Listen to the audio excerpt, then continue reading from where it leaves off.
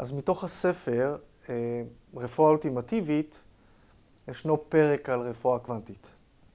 וברפואה קוונטית יש מושג שחיברתי, שנקרא רטט ותדר, והמושג עצמו הוא רדר. זה תחביר של שתי מילים, רדר. עכשיו, לרדר יש משמעות שנקראת חותם אנרגטי אנושי קוסמי.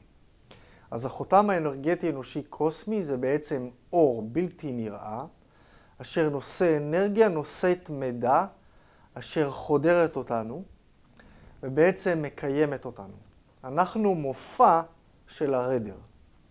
כל בן אדם יכול לקלוט רק את האנרגיה הספציפית הזאת, נושאת מידע של אור בלתי נראה.